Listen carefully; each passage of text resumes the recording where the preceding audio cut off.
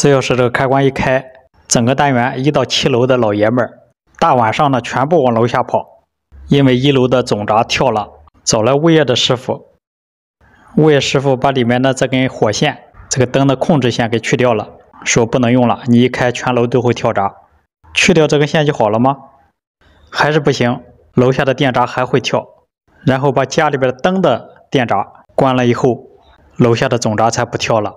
现在这个灯电闸都不敢送电，反正一送准跳。他们家出现这种状况出乎我的预料。刚开始只是说卫生间的灯闪，关了灯以后会闪，没说漏电跳闸的这个事儿。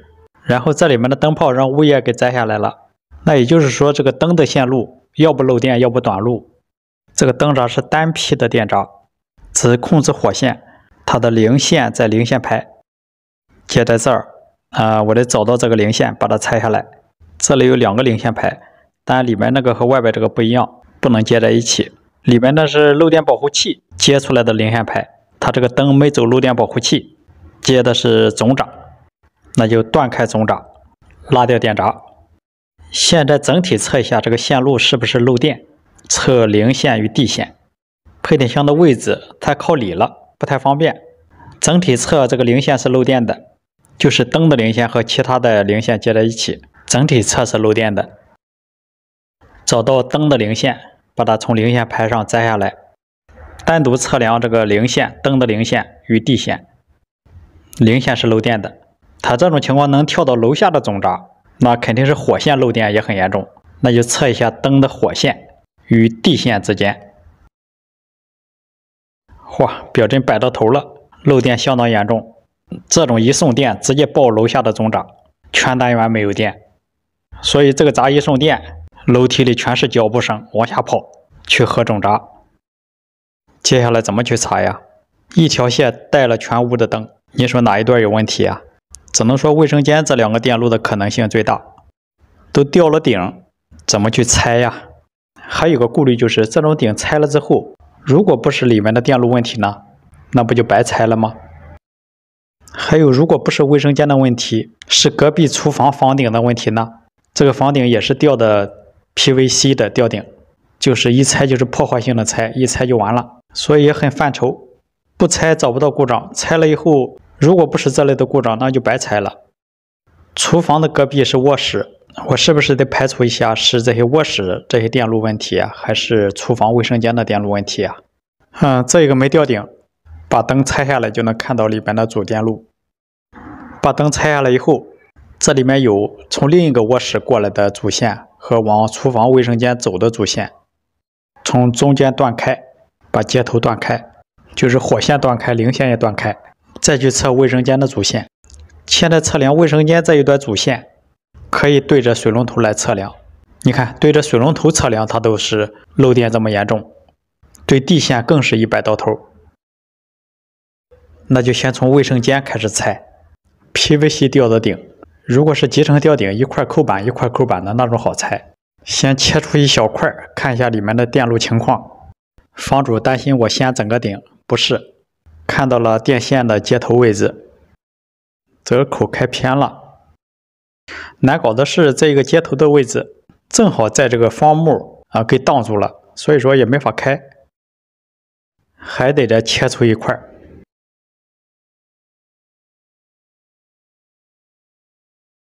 好了，现在能看清楚这个线头了，都烧糊了，是单单这个线头的问题吗？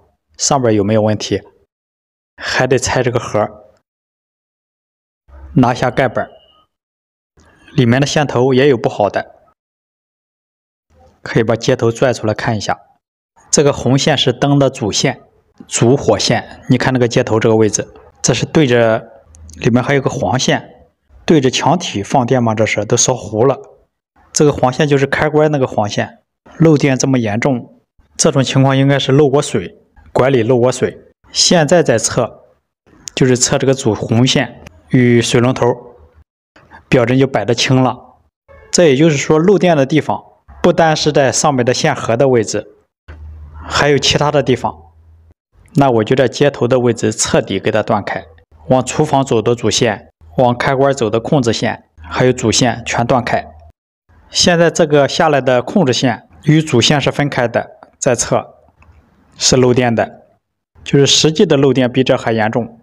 再看一下这个黄线，其实我刚才测这个黄线漏电是最严重的。现在再看呢，看漏电多严重，与水龙头它的漏电这么严重。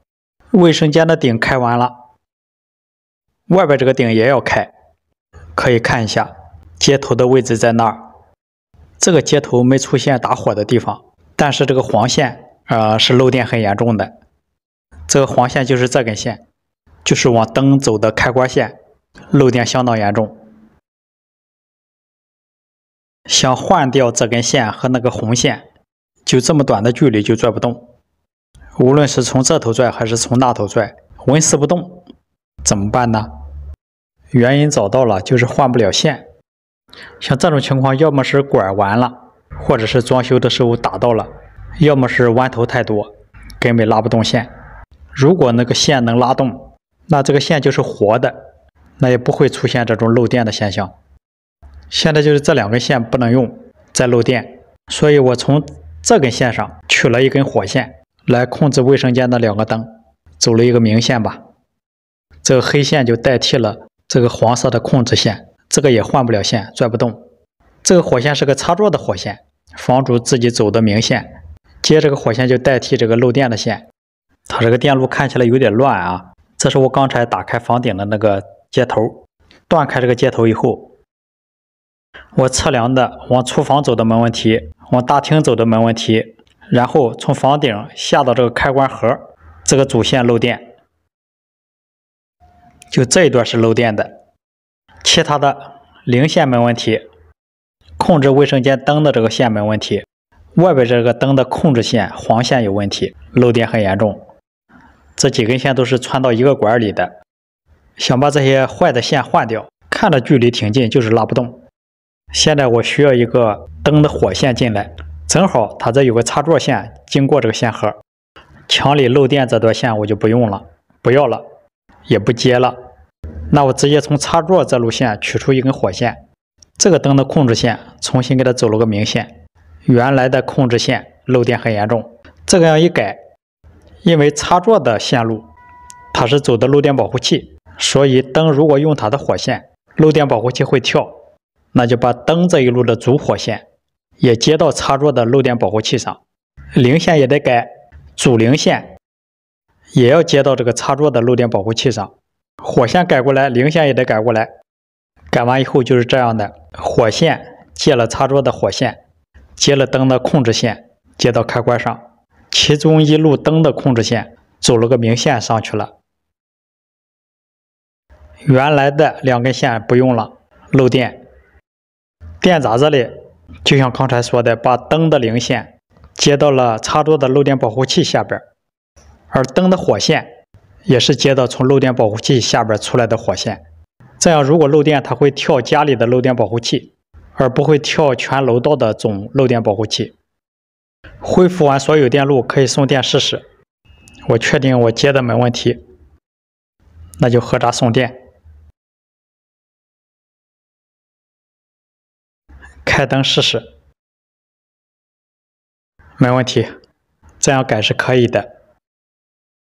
现在所有的灯开关都正常，这样总算是给它搞定了。修的不是太完美，主要是没把线换掉，能正常使用。感谢您的观看。